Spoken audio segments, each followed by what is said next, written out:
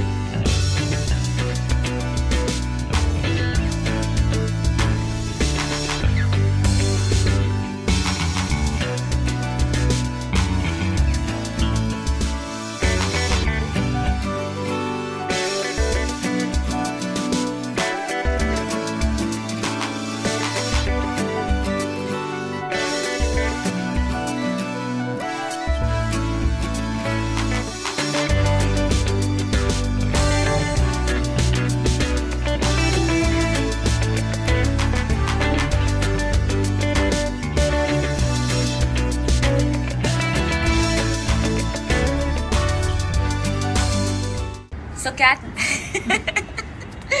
so, Kat, now that we're stuck at home, what should we do? Well, you can't leave me ever. so I think everyone knows that now that the government has said that most of the gyms are going to be shut now for some time. I still think that we can, you know, do workout at home. We can do a small workout at home, maybe Yeah. 20, 25 minutes. You don't have to stress your body, but even a little bit of workout is really good for your immunity. It also keeps your endorphins up at a time where there's a lot of fear and anxiety around. Um, Be positive, be happy. So, here, guys, is a routine that you can do at home for 20 minutes that will make you happy.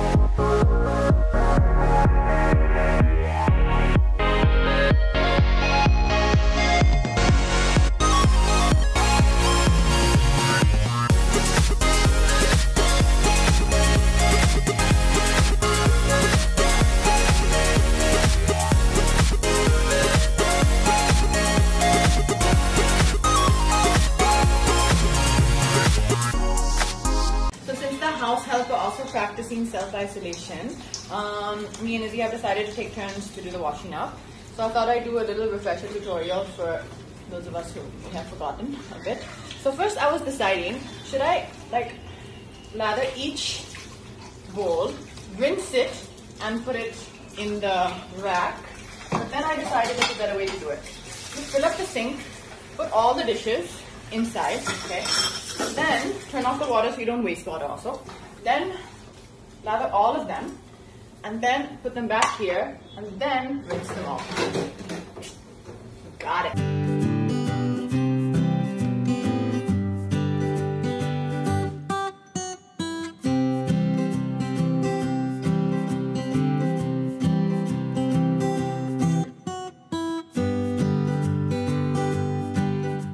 Hi everyone. I'm recording this message at home and I hope you're seeing this at home. Social distancing and staying at home are two critical steps to help stop the spread of the coronavirus. The next 10 to 15 days are extremely crucial. Please avoid all public places, public transport like trains and buses.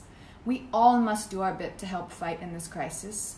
And please follow the instructions issued by the state government. Stay home, stay safe, and take care.